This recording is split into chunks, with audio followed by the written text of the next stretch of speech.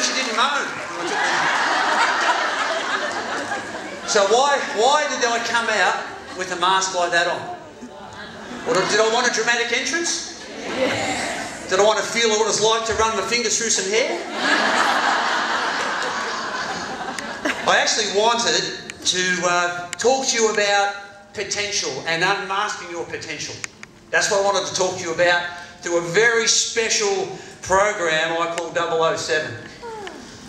O for organisation, O for optimism, and seven very, very important key daily actions. Who's earned their breakfast this morning? Very good, very good. Who thought about it but decided, oh, I'll sleep in? Who said, bugger that, I'm staying in bed as long as I can? Yeah, okay, awesome. I just thought while we had Bond happening, you might just have a look and give me a shout out if this is your favourite Bond. Mm, not too much?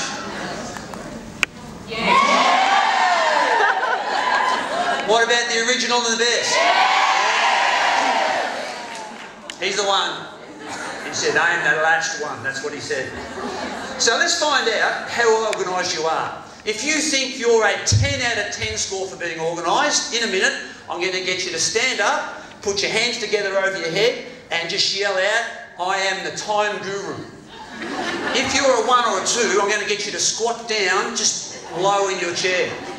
If you're a three, you can sort of stay with your hands on your knees. If you're a four or five, you can stay seated. If you're a six, you can stand up. If you're seven, you stand up with one hand in the air. If you're an eight, with two hands in the air. If you're nine, your hands together. And if you're a ten, it's your hands together. And I am the time guru. So one and two, crouch down low. Three, a little bit higher. Four, a bit higher. Five, stay in your seat.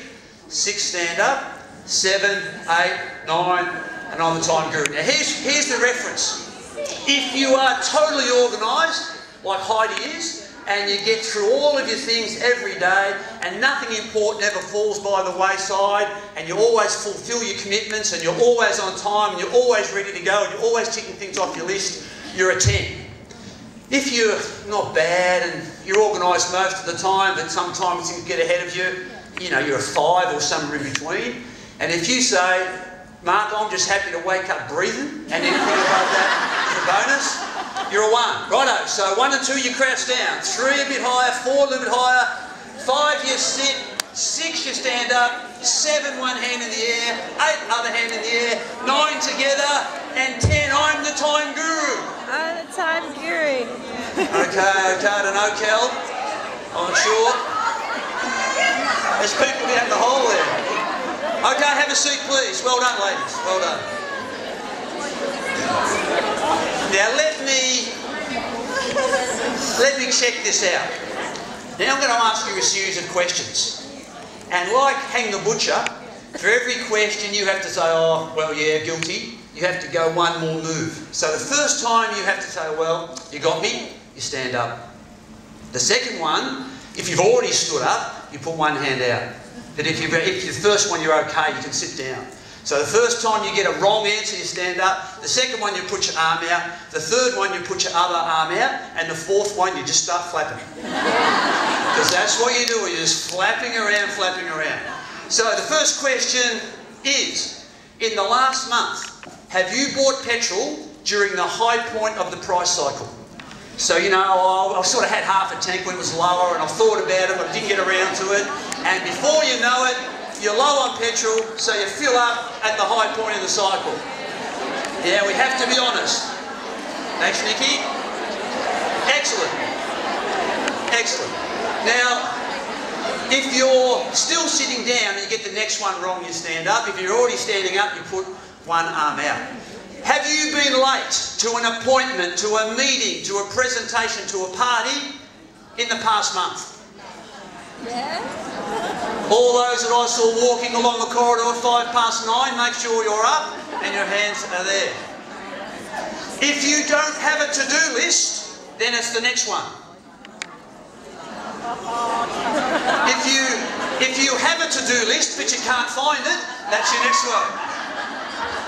Or if you have a to-do list, but there's been something on your to-do list for more than three days and it's still there, you're the next one. Okay. Right. Anyone who's had to stop on the way to a presentation to a party to check the directions because you thought you knew where it was but you didn't quite? You stand up. Excellent. If you have paid interest on a credit card in the last year, please stand up.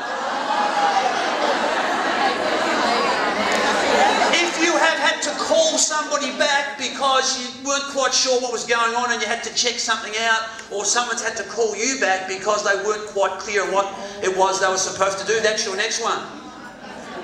And the final one is you, if you have lost, and when I mean lost, you've mislaid it for more than five seconds, you've mislaid your purse, your jewellery, your keys, or your children. Flap around, flap around, because that's what you're doing, you're just flapping around, you're just flapping around. Righto, I want you to pay the price. Anyone who's got their wings out for the next 20 seconds, I want you to move around and just say to the people, I'm flapping around, I'm flapping around, I'm flapping around. Because that's all you're doing. You're just flapping around, flapping around, flapping around. Great, have a seat. Thanks, ladies.